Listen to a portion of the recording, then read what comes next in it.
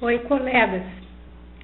Esse é o meu relatório da pesquisa relativa aos orgânicos. As imagens que vocês estão vendo são da rua Irmão José Otão, esquina com a Santo Antônio.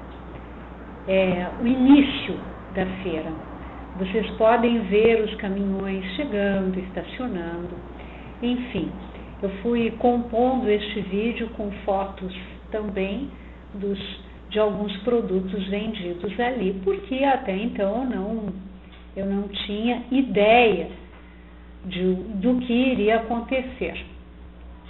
Fui andando por ali, fazendo fotos ah, e procurando conversar com, com os feirantes. O primeiro com quem eu conversei, dei sorte, né?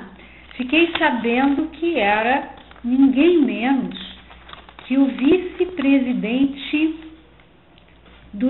da feira do, da Associação dos Expositores, tá? uma associação que reúne 100, 100 produtores rurais né, da periferia, Porto Alegre e cidadezinhas periféricas, né, e que eh, procura organizar especialmente a concorrência. Tá? Essa feira, por exemplo, ali da, da, do Bonfim, ela existe desde 1991.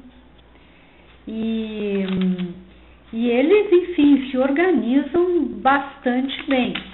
Esse senhor, que é o vice-presidente, me deu e-mail, me explicou que para evitar, por exemplo, a concorrência desleal, os produtos são vendidos, cada produto é vendido por pelo menos dois ali. Então, por exemplo, abacaxi, um vende, o outro também vende o abacaxi, e isso força a concorrência, força, eh, libera o, consumidor para uma escolha, uma escolha melhor daquilo que lhe convém. A sede dessa associação fica em Alvorada. Ali a feirinha do Bonfim, ela é mais ou menos composta por 28, 30. Na, naquele dia eram 28, estava, atualmente estavam em 28 expositores.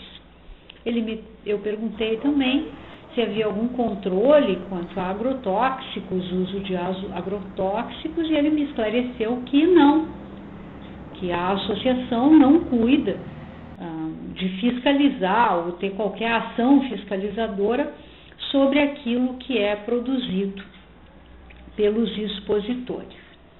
Ah, mas me, me adiantou que, por exemplo, o tomate necessariamente é adquirido da SEASA, porque o, não há produtores de, de tomate.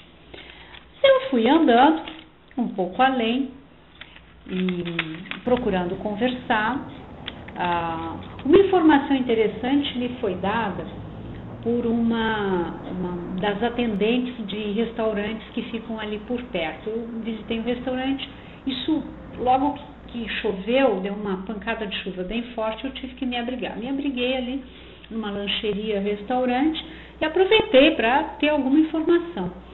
Quando ela me disse que, perguntei quem eram os frequentadores da feira, ela me disse que, olha, restaurantes não compravam ali, eles também tampouco compravam ali, e que a maioria dos consumidores era constituída mesmo de pessoas do bairro. Fui adiante, conversando com, com eles, procurando saber como eram produzidos, e ninguém me falava nada a respeito de orgânicos, eram produtos que eles diziam que Um foi muito simpático, por sinal, Jorge da Feira, vocês já viram algumas fotos dele, fez questão de posar para uma foto, me deu vários produtos para provar, para degustação, fez questão de, de mostrar cada um, cada um daqueles, daquelas frutas importadas, é, que são produtos para exportação que ele vendia. E eu fui, enfim, conversando com um e outro.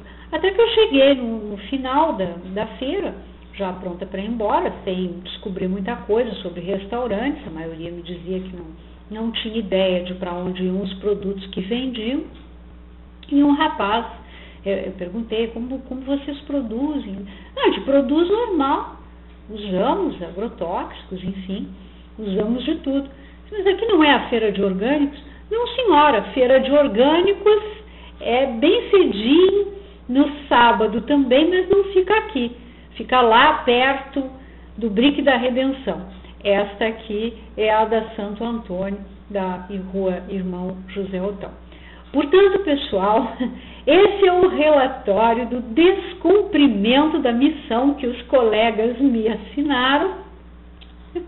Eu não acertei com a feira, mas para tentar me redimir, produzi esse videozinho com um grande abraço para os colegas que já podem fazer ideia de mais ou menos o que dá para fazer em matéria de imagem e vídeo. Tchau, pessoal. Desculpe.